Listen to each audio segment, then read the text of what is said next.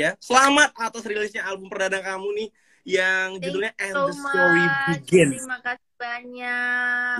Gimana perasaannya eh, akhirnya nih rilis album perdananya kamu? Eh, jujur ya, jujur eh, bener-bener happy banget sih pastinya. Happy banget. Kenapa? Karena ini udah net mimpi-mimpikan dari dulu soalnya dari lama gitu. Mm-mm. Akhirnya apa? Udah pengen juga punya album sendiri ya. Ya pengen banget. Sebenarnya Hmm. kemarin mau 2021 album, tapi Ya. mungkin karena ada beberapa kendala jadi belum bisa. Akhirnya 2022. Iya. Tapi pas keluar itu kayak wah puas nih pendengar-pendengar nih dengan Iya. the whole Yes. set list gitu loh. Yes. Ah. Iya, Bang. semua lagunya. Nah, tapi aku pengen nanya, kenapa nama albumnya And the Story Begins? Apa nama lagunya The Story Begins? Karena Hmm. eh, nama albumnya, Hmm. titlenya. Kenapa? Karena And the Story Begins itu kan kayak memulai kan. Jadi ini Hmm. adalah menurut Anet ini adalah langkah awal Anet untuk ke tahap berikutnya lagi gitu loh. Jadi memulai lagi lah. Halo. Dan ini Oh, juga dari album perdanaan album solo perdana Anet kan. Anet album solo perdana banget. Iya. eh, jadi pengen banget eh, titlenya itu And the Story Begins. Kayak pas And the banget. Story Begins. Dan mm, mm, dan buat kamu nih para aneters ya berbahagialah karena Yes. albumnya udah keluar. Berbahagia Yeah, karena albumnya udah keluar. dong. Aduh, tapi eh, kita sekarang pindah nih ngomongin Oke. soal single warna favorit. Ya kan? Salah Oke, satu single di album ini, lah, kalau bisa di setlist itu lagu kedua setelah mungkin hari ini esok atau nanti ya. Nah, Hmm. jadi aku pengen tahu nih single warna favorit ini sebenarnya bercerita soal apa sih? Warna favorit itu sebenarnya tentang kayak kasih sayang kita terhadap seseorang yang kita sayang. Sebenarnya ini bisa untuk siapa aja, bisa untuk keluarga, bisa untuk teman, bisa untuk pasangan, sama siapa aja lah gitu. Eh, dan ini bukan hanya dengan sebuah kata-kata, tapi dengan merupakan tindakan gitu. Lebih kayak gitu sih, karena kayak Bukan omong lagu doang ya. Iya Bukan di lagu doang. ini itu liriknya kayak pokoknya anak mau nyampein kayak di lagu ini itu kayak gue ada di sini loh, aku ada di sini loh buat kamu gini-gini kalau perlu apa-apa gini-gini gini gitu. Jadi ibaratkan aku bisa jadi warna favorit kamu loh gitu ya. Anyway, ngomongin soal warna favorit, emang warna favorit Anet tuh apa sih? Kenapa? Sorry kak? Eh, kalau ngomongin soal warna favorit nih, Hmm. warna favorit Anet tuh apa? Aku suka banyak sih sukanya aku suka biru, hitam, putih. Terus habis Mhm. itu aku suka eh, merah, ungu. Terus habis itu aku suka pink. Terus semuanya aja ya. Semua Semuanya aja satu satu color palette tuh, warna-warni kayak pelangi. keren keren keren keren. Berarti warna favoritnya banyak ya? Lumayan. Warna favoritnya banyak. Waduh. Tapi ini kalau misalkan warna favorit untuk Anet sendiri sebenernya ini kan Anet sendiri yang ngitain ya, bener? Iya. Anet tuh nunjukin ini lagu ke siapa?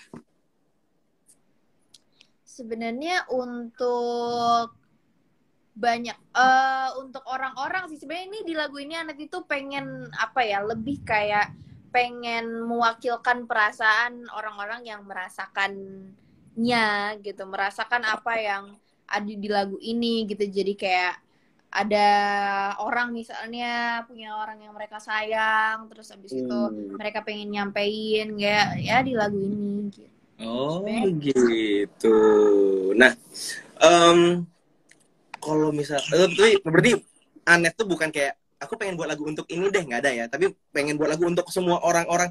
Nah, ada yang ngomong nih untuk Onyo, bener. Pokoknya untuk orang-orang yang kita sayang lah pastinya gitu.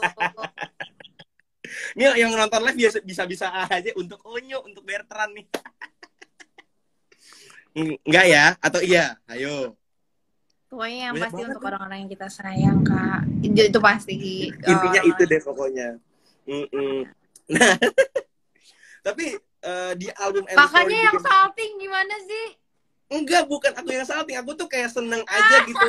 Fans fans fans kamu itu ngerti, fans fans kamu itu nge-ship kamu buat bareng Onyo.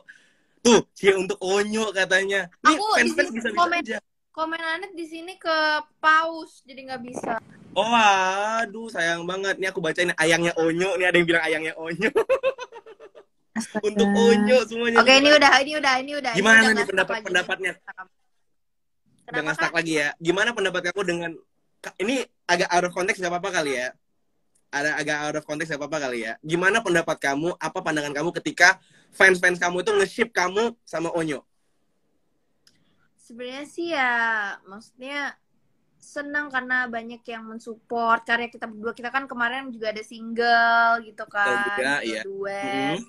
Dan iya banyak yang nge-support juga kita dan kita juga kita juga berusaha untuk memberi sesuatu yang positif, karya-karya Mhm. lagi buat orang-orang semuanya gitu sih. Oh gitu, gitu ya fans-fans ya. Udah dengar sendiri kan dari Anetnya kan. Jadi jangan sampai ada salah paham ya. Yay! Oke, di album And the Story Begins ini lagu mana yang menurut kamu lagunya tuh cukup sulit dalam proses pengerjaannya? Ayo. Hmm, ada kesulitannya masing-masing sih di tiap lagu sebenarnya. Ini kan ada 10 lagu, jadi lima lagu yang udah pernah dirilis sebelum album ini rilis, ada lima lagu Yep. juga yang baru dirilis pas album ini rilis juga, Yap, gitu. bener. Eh, dan mungkin mungkin di lima lagu yang yang baru rilis kali ya, di, baru rilis di album ini juga. Mhm. Eh, jadi ada warna favorit, sampai kapan, how, lepaskan How. akan ikhlaskan, sama karenamu. Nah, Oke. mungkin yang paling sulit itu kayaknya, aduh semuanya sulit sih ya, tapi mungkin yang, yang paling kayak nyantol itu karenamu kayaknya karenamu. Kenapa Karena- karenamu? Karena Mhm. waktu recording, proses recording itu mood aku lagi nggak baik-baik aja. Dan Oh karenamu itu adalah lagu yang seharusnya dinyanyikan dengan em, dengan apa ya dengan mood yang ceria gitu dengan Mhm. pembawaan yang happy seneng gitu Mhm. bahagia tapi mood aku lagi nggak baik-baik aja mungkin lagi capek-capeknya di sela-sela syuting juga dan Mhm. ya berusaha nyari mood itu sih yang lumayan maksudnya soalnya kan kalau kalau moodnya lagi gimana gimana pasti keikut juga kan maksudnya kayak lumayan kebawa gitu sama suara Iya. mungkin mungkin nggak terlalu gimana mungkin kurang maksimal lah gitu tapi ya sering berjalannya waktu di proses recording itu ya berusaha aja berusaha untuk mengembalikan mood lah moodnya, tapi memang nggak mudah ya ngebalikin mood itu ya. nggak mudah ya Apalagi proses recording itu kan lumayan lama ya makan waktunya ya. Uh, iya benar banget hmm, jadi take voice kalau misalnya mood nggak enak tuh nyanyi juga nggak enak. Gitu loh. Berarti menurut kamu iya yang paling susah nih Hmm.